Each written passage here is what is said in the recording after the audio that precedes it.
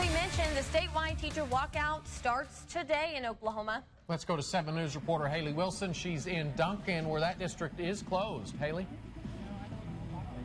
Guys, I'm at Duncan Middle School where the parking lot is almost full in front of the school. And then there's charter buses. I don't know if you can see it, but there are teachers that are getting on these charter buses. Now, I'm joined by Miss Norton. Now, you've been a teacher for, you said, 39 years. Yes. We've been talking about this teacher walkout for nearly a month. What does it mean for it to finally be here? We are all very excited to, to be at this historical event. We have been working for this for over 10 years. Teachers deserve raises. We need quality teachers, qualified teachers in the classroom. We need funding for our students. We're walking for ourselves and for our students and for everyone else's students. We want to take care of our kids. We want them to have the very best and have a long, productive experience at middle school, high school, elementary school. So we're walking for the students.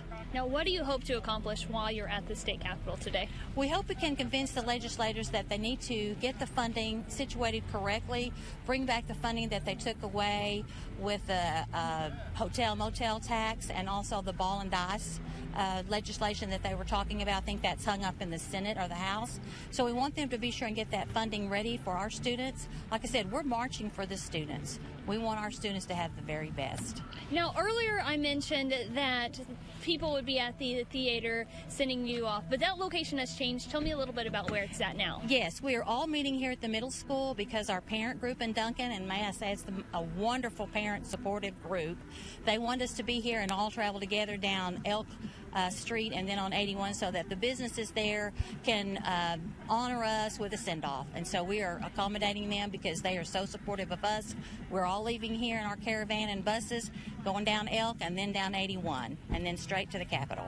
Well, awesome and good luck, and y'all be safe. It's going to be a little chilly out there for y'all yes, today. it will be. well, thank, you. so much for talking Thank you me. very much.